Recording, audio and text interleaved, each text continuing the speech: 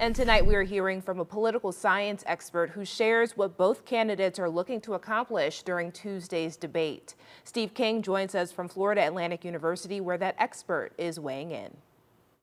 Kevin Wagner, professor of political science at Florida Atlantic University, says while normally a debate between two presidential candidates would not hold as much significance, this time it will likely be more important because of how late Democratic presidential nominee Vice President Kamala Harris entered the race. Vice President Harris is actually probably going to be introducing herself to many people in a way that is not typical for this late in the campaign. So it might actually be more uh, influential than is typically true just because of how many people are probably going to be learning about the vice president during the debate. As for Republican presidential nominee, former President Donald Trump, one is I, I think he'd like to stem the momentum that came uh, from the Democratic convention that has sort of pushed uh, Harris a bit in the polls. So I suspect that uh, that he's going to try and change that momentum and and change the narrative of the campaign. And of course, the second thing that he very much wants to do is kind of frame and define uh, the vice president in a way uh, that is going to have voters walk away from her. Wagner says right now the Florida Atlantic University National Presidential Poll has the race too close to call, but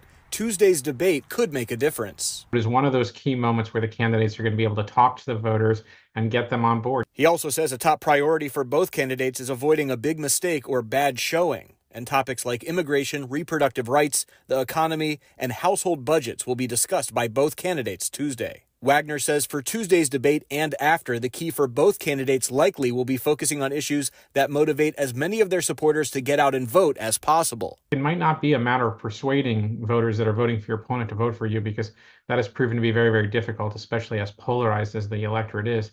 It may simply turn out to which side is able to motivate and excite their voters enough to turn them out in slightly higher numbers. Reporting in Boca Raton, Steve King, WPBF 25 News.